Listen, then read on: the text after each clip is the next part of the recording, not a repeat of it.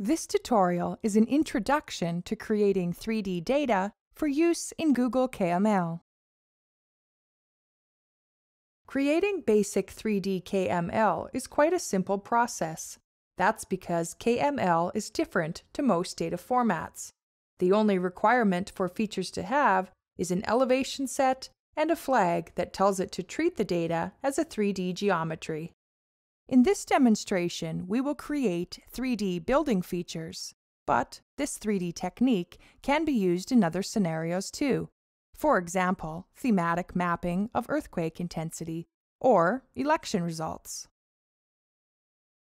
The source data here is an Esri geodatabase containing building footprints. The data is coordinate system aware and has an elevation attribute populated for all features. Here is a workspace that translates the geodatabase to KML. Now we add a 3D Forcer transformer. We open up the Parameters dialog and select the elevation attribute. This will give the building features an elevation.